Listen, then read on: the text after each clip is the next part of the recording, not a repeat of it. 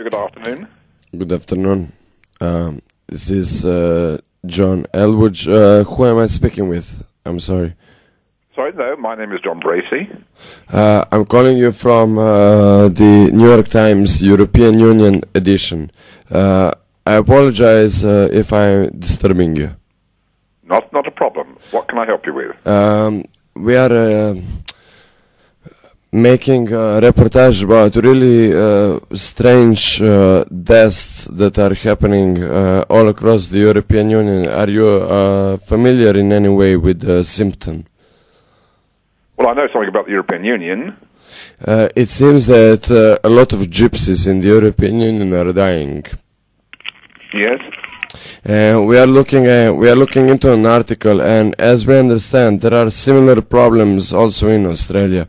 And uh, if it is possible that uh, if we can speak with you or with somebody uh, from your organization more competent than you, maybe perhaps. Um, about this uh, really particular uh, situation, I mean, uh, when gypsies are dying, uh, this is very bad. Okay, well, I'm the president of the Australian Institute of Private Detectives. Uh, do you have? I'm, I'm, I'm the head honcho. Okay, may I may I ask you a direct question then? Of course you can. Okay, uh, in European Union, we we have now like in the past two days, uh, we had like 418 gypsies died uh, of no disease, of no uh, particular cause. You know that would be related to any disease of any kind, uh, but of violence, and we are uh, looking into. This example, uh, whether this is only related to the European Union or is this related uh, elsewhere, and I'm only asking uh, whether in uh, Australia do you have this problem? Uh, are gypsies dying? Not that I'm aware of. I don't, I don't think we have any uh, any here in Australia. I would be very surprised. I haven't heard about it. Um, I don't think we have any here. Look, look, I'm not aware of that. If we do have, I I don't know. Um, and I un, unfortunately, unfortunately, I would have heard about it if we do have. Um, I don't know any gypsies, uh, uh, whether they were uh, Romanian or Romani or whatever it might be. I don't know of any here. Uh, I, I don't think we even have a problem here with those. I, I contacted my. We have, uh, we, we have Aboriginals, which I suppose, in some respects, might, uh, because they are very similar, I suppose, to uh, uh, to what you might call gypsies. They don't, they they sort of wander all over the place. They don't have a specific home, and they just move, uh, you know, with seasons where the food is. And they live, basically live off the land, and they're out, uh, out. Well, they do live in the cities, of course, but um, they have a lot of uh, uh, a lot of them out in the uh, out in the bush. Uh, the reason why I'm con- I'm contacting you is uh, my editor in uh, New York uh, suggested that I contact Australia because we are looking into this uh, problem worldwide. Uh, gypsies, as it seems, uh, are getting killed all over the world, and nobody seems to pay too much attention uh, to the problem. If you understand what I mean. Yeah, I, understand you. I understand you. Um, I- I'm trying to think how I can help. See, I don't know of that problem over here. We don't have any gypsies over here. Uh, I said the only thing we might have that become close to a gypsy would be the Aboriginals, and uh, we spend the government here spends about eight to nine billion dollars a year on the Aboriginals. Now they live out on uh, out in the bush, and uh, um, you know we, we have a lot of public servants in between taking all the money. Out of the 418 uh, gypsies that were killed in Europe in the past two days, uh, 20 of them were Aborigines.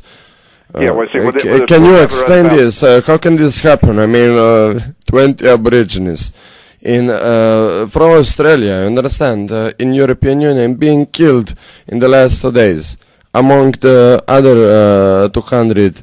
Uh, Oh, look, I can understand. I can understand. I'm just you see. I say well, the, the only thing that we have nearest to, to, to to gypsies would be Aboriginals, but you know they uh, uh, uh, they live off the land. They live in areas where no human, no no white person could ever live. They know how to live off the land, but you know, unfortunately, we get them into towns and we get them alcohol, and they're like the old West Indians. Uh, you know, they there's fire water; they can't control themselves, and we're now trying to address that problem, particularly up in the Northern Territory. Uh, But I- we don't we, we, we, don't have Yes. problems with, Yes. with, with, with, with killing the Aboriginals. That um, that, that that that's not happening here.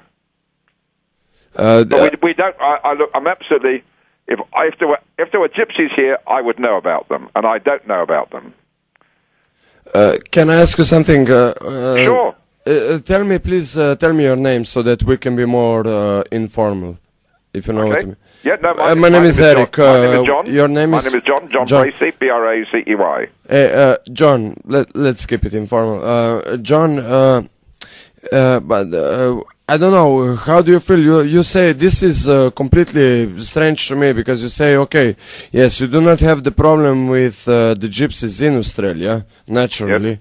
We do, however, have a problem with gypsies in European Union, but also with the Aborigines. It's uh, it's a little bit strange, don't you think?